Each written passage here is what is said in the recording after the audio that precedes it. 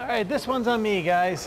Working two jobs? No, I'm a member of Arkansas Federal Credit Union. What's a credit union? Well, it's a financial institution that's owned by people like me, not stockholders. And that makes you money? Well, yeah, my credit union pays me better rates instead of paying their stockholders. So I can afford to splurge now and then. Can I get in on this? Sure, just about everyone can open an account. Hey, since you're buying, I'll take a grande double shot mocha latte with extra foam whip. All right. Arkansas Federal Credit Union, improving your financial life.